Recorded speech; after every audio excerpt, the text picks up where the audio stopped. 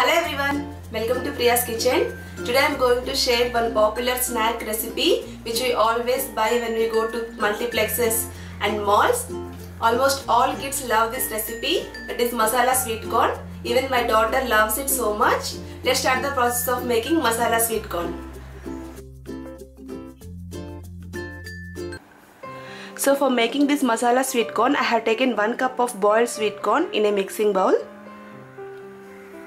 To this add half a teaspoon of chaat masala, half a teaspoon of red chili powder or according to your spiciness, 1 4th teaspoon of pepper powder, 1 teaspoon of melted butter and squeeze some lemon juice.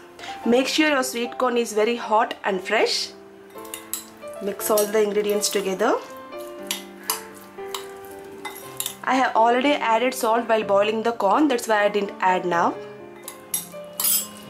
So our masala sweet corn is ready to serve. Try it in your home and let me know your feedback in the comment section below. It is very easy and you can make it in no time. Very quickie snack. Thank you for watching. I hope you enjoyed today's session of making masala sweet corn. If you enjoyed my recipe, hit the like button and share my video with your friends and family members.